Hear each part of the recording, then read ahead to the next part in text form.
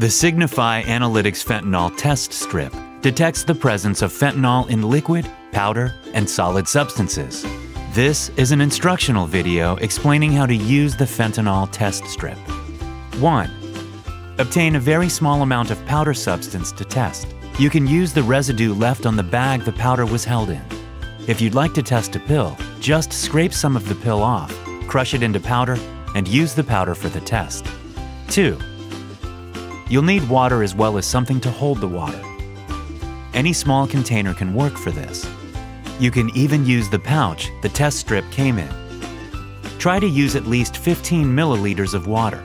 However, the test will still work with less than 15 milliliters of water. Step-by-step instructions on how to use the fentanyl test strip. Step 1.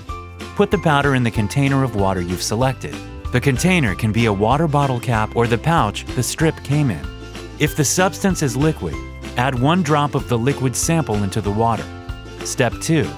Stir the substance in the water until it is completely dissolved.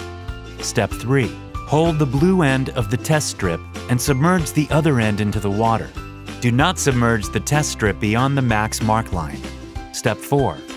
Hold the test strip in water for about 10 to 15 seconds.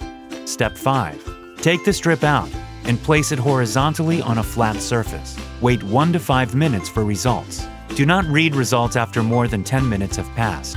Step 6. Analyze the results. Count how many red lines there are. Two lines means there is no fentanyl present. One line means fentanyl is present.